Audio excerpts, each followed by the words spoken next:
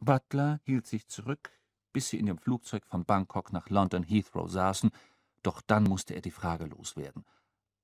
Artemis, Sir, warum haben wir das Buch nicht einfach behalten und sie sterben lassen? Eine Leiche ist ein Beweisstück, Butler. Auf meine Weise haben die Unterirdischen keinen Grund, misstrauisch zu werden. Und was ist mit der Fee selbst? Sie wird kaum freiwillig zugeben, dass sie Menschenwesen das Buch gezeigt hat. Außerdem habe ich ihr ein leichtes Mittel zum Vergessen in die zweite Spritze gemischt. Butler nickte bewundernd. Immer zwei Schritte voraus, unser Master Artemis. Die Leute sagten, er sei ganz aus dem alten Holz geschnitzt, doch sie irrten sich. Master Artemis war aus nagelneuem Holz von einer Sorte, die noch keiner gesehen hatte. Mittlerweile haben sie sicher erkannt, wie weit Artemis Fowl zu gehen bereit war, um sein Ziel zu erreichen. Doch was beabsichtigte er überhaupt?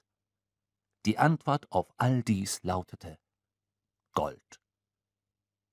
Artemis Suche hatte zwei Jahre zuvor begonnen, als er zum ersten Mal im Internet surfte.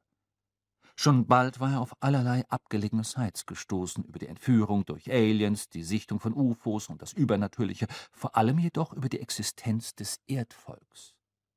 Er fand hunderte von Hinweisen aus nahezu allen Ländern der Welt. Jede Zivilisation hatte ihren eigenen Namen für die Unterirdischen, doch unzweifelhaft gehörten sie alle zu derselben verborgenen Familie. In mehreren Berichten war von einem Buch die Rede, das jedes unterirdische Wesen bei sich trug. Es war ihre Bibel, in der angeblich die Geschichte ihres Volks und die Gebote verzeichnet waren, die ihr langes Leben regelten. Das Buch war natürlich auf Gnomisch verfasst, der Sprache der Unterirdischen, und für Menschen vollkommen unverständlich. Artemis jedoch glaubte, dass es mit Hilfe der modernen Technologie möglich wäre, das Buch zu übersetzen – und hatte man erst einmal die Übersetzung, konnte man eine ganz neue Spezies ausnehmen.